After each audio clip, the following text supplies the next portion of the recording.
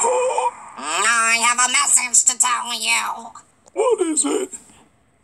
Despite your popularity, you